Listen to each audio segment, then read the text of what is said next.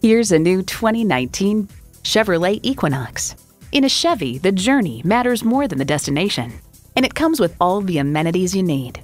Automatic transmission, heated and ventilated leather bucket seats, streaming audio, configurable instrument gauges, dual zone climate control, power heated mirrors, external memory control, hands-free liftgate, doors and push-button start proximity key, and turbo inline four-cylinder engine.